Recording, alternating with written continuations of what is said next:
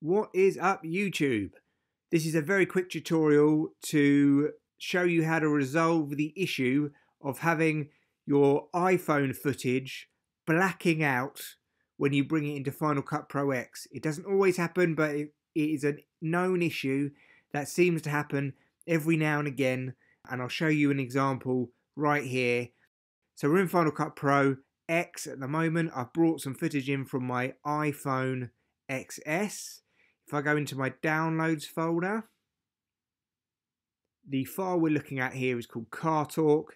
If I drag it in, or if I use Control I to put it in, you can see the audio is there, but it is blacked out, no image at all. So the way to solve this is to open up that file in QuickTime. If it's your default player, you should just be able to double click and it will open it up. And there it is. There's my lovely face. Now you're not going to be able to hear what I'm saying because uh, I'm just recording my screen at the moment. But um, all you need to do is you go File, Export as 1080p. Let's save it to Desktop. Now this HEVC might be the problem. So I believe that that is the codec which might be causing the problem. So we don't tick that.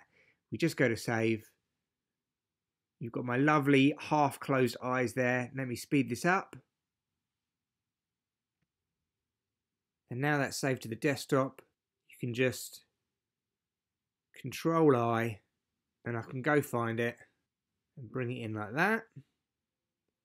It's there in the media within the library and you can see that it's now got a visual, it's not blacked out. Or of course we can grab it from the desktop like so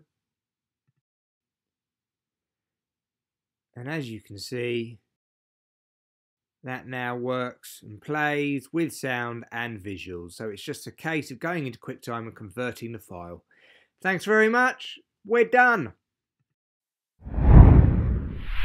Mokercast.